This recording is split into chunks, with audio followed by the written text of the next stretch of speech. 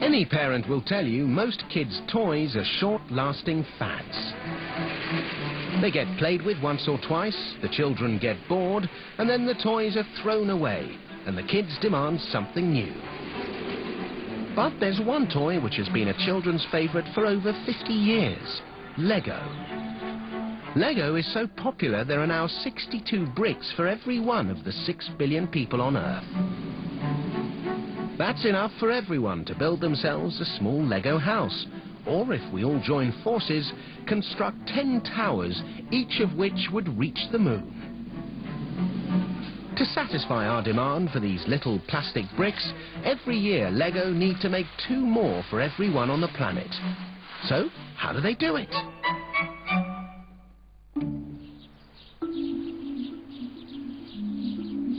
Billund, West Denmark. It's 8 a.m. and senior designer Henrik Andersen is arriving for work at the Lego factory. Henrik is one of 120 designers based around the world whose job it is to make sure Lego keep up to date with the latest trends. Because whilst you can still buy a bag of the basic building blocks, most Lego is now sold as part of specially designed kits. To come up with ideas for new kits, grown-up children like Henrik get to undertake one of the toughest jobs imaginable spending all day in a white room playing with Lego. This room is a sort of inspiration room to us all. We can come here and clear our mind and maybe go for a brainstorm. There's nothing in here that you can look at. It's all white, so it should open your mind to, to other new ideas. What the White Room has inspired Henrik to come up with is a model train.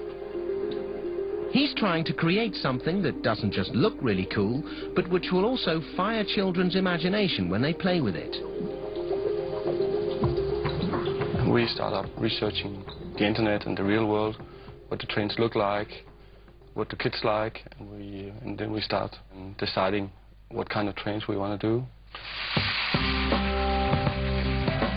Henrik's design is based on the high-speed French TGV and German ICE trains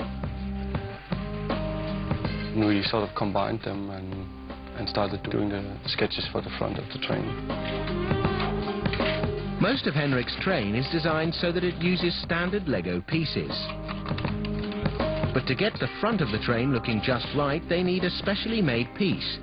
But instead of turning to a computer, Henrik uses more traditional techniques.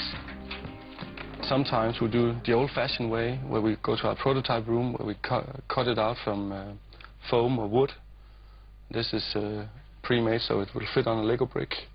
And then roughly I just file it out of a piece of foam. Once Henrik is happy with how everything is looking, they cast a prototype of the new piece.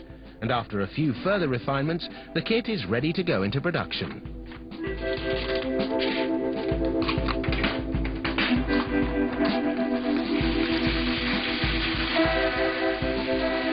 But Lego haven't always made little plastic building blocks. The business was begun back in 1932 by a carpenter called Ole Kirk Christiansen. Back then, he was making wooden step ladders, stools, ironing boards, and a few wooden toys. The toys proved so popular that two years later he named the company Lego, after the Danish leg godt, literally, play well. It was only later they discovered Lego also means I put together in Latin. After the plant burnt down in 1942, they switched from wood to plastic and in 1958 came up with the brick design still in use today.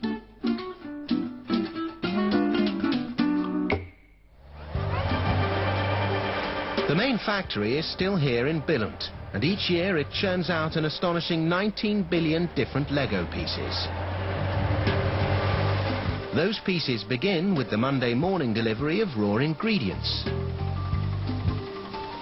The finished pieces need to be tough enough to withstand the kind of bashing only a child can mete out, and safe if they end up being chewed. So they're made from an extremely resilient plastic known as acrylonitrile butadiene styrene, or ABS. The same stuff used to make black plastic pipes, computer mice and hard hats. To turn out the 2,200 different elements in 55 different colours requires a huge factory housing 850 massive moulding machines. They begin by heating the plastic to 232 degrees Celsius.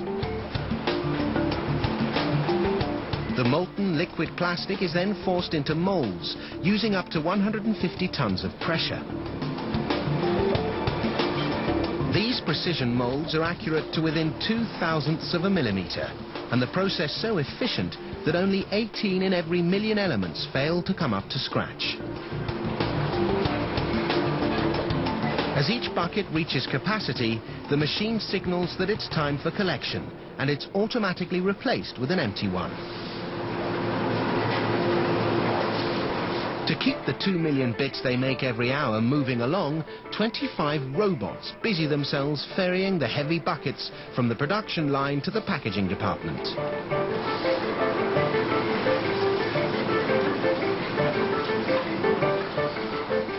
Here the pieces are sorted, as every hour tens of thousands of different kits are packed together with the all-important assembly instructions. There's no arguing that LEGO has been very successful to date. But the times they are a-changing, and with whizzy computer games competing for kids' attention, members of the development team like Stephen Canvin have been busy developing new robotic forms of LEGO kits. We wanted to to bridge the gap between the virtual world, which is computers, and also with, with our own physical world with our bricks. These programmable robots come with everything, from ultrasonic hearing, sensors to let them see, and touch sensitivity. So parents, beware. Once your child has found a way to arm their robot with a Lego ray gun, you may find you're forced to raise their pocket money. Or else.